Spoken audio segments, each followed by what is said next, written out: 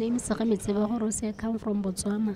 Uh, I received a prophecy that I have fibroids. Indeed, I have fibroids. I went to a doctor and he told me that two fibroids which need to be operated and also that my my tubes, my fallopian tubes are blocked so that I can conceive. But that one wasn't a prophecy, it's what the doctor told me. He also told me the, the prophet also prophesied about my brother that he's mentally disturbed. Indeed, it's true, my brother is mentally disturbed.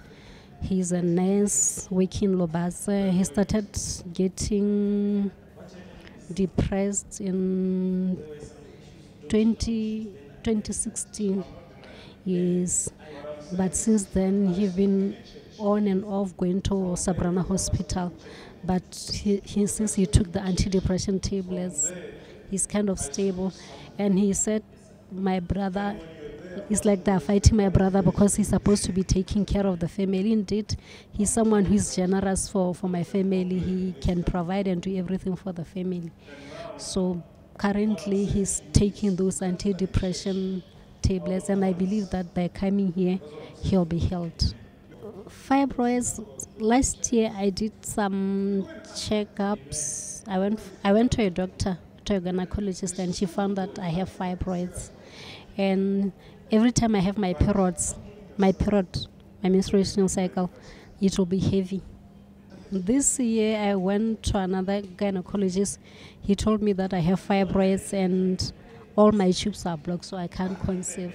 He said the only option that I have is to do IVF, which is not always successful. 50% to be successful success is success rate. So and it's very costly. So currently i don't have money to to do the the ivf and i believe that god will give me a kid without doing the ivf process. Words of encouragement is that we should trust in god and believe in what the prophets are saying to us because it is a way that god has spoken to them to, is the way that God is speaking to us through them. So when you trust in them and believe in God, indeed, Lord will give us our heart desire and He will do everything that He've long planned to to come to pass in our lives.